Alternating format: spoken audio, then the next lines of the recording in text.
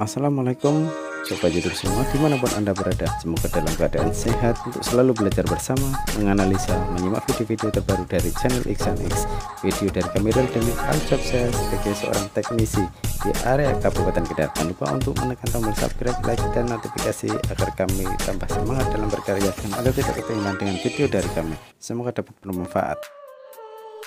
Sobat YouTube semua, kali ini sebuah mesin cuci sub ini tombolnya sudah diganti ya modulnya sudah diganti dengan modul universal. Ini yang ganti saya karena yang dahulu tuh modulnya sudah di uh, istilahnya tuh program juga error karena tikus terlalu banyak mengkap apa menggigit kabelnya.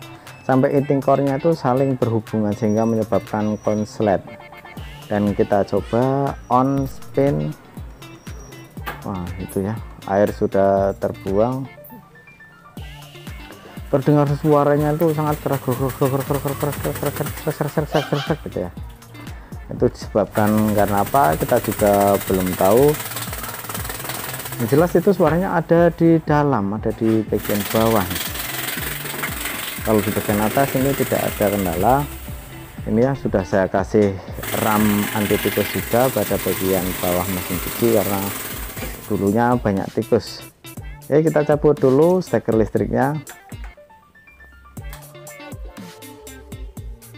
kita cek-cek pada bagian sekelilingnya padahal sudah diberi anti tikus itu tapi kenapa itu bunyi serok-serok itu kenapa? Ini prediksi saya ya ada tikus yang masuk terus uh, membawa sesuatu. Ya kita buka dan kita coba putar pada tabung spin aman dan kita putar pulsator itu terdengar bunyi serok serok serok serok serok serok serok, serok. Nah, itu ada di bawah ya Oke langsung saja kita bongkar kembali. Ini anti tikusnya ya biar tidak apa tidak dilubangi tikus. Karena kalau bodi mesin cuci sub ini semuanya dari bawah sampai atas itu plastik semua. Itu memang aman tidak tidak akan korosi.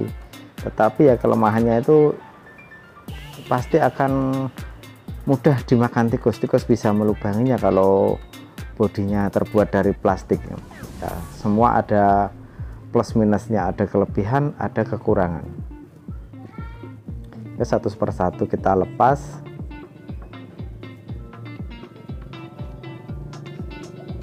Oh ya ini masih ada satu lagi skrupnya nggak terlihat.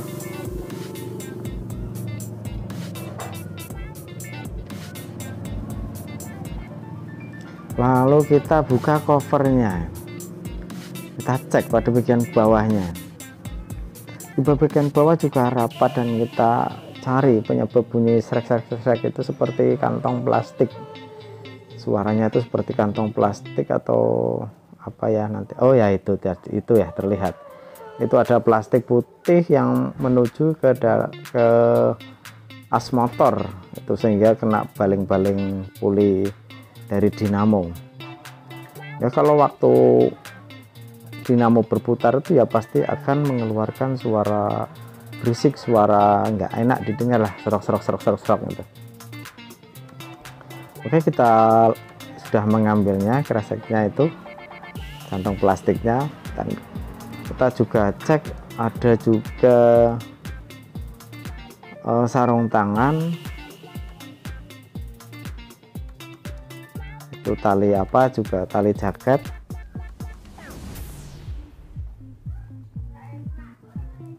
ya sepertinya ini sudah aman.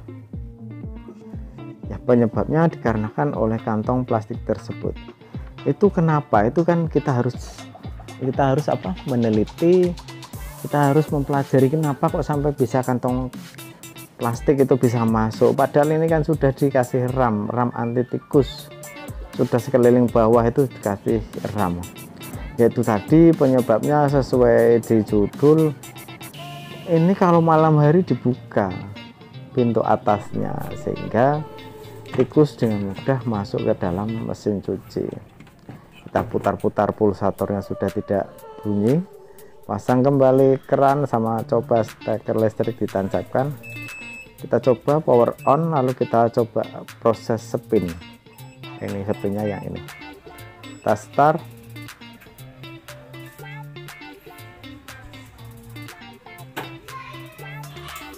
sudah tidak ada airnya itu langsung bisa berputar dan kembali aman. Istilahnya tidak mengeluarkan suara berisik suara bising.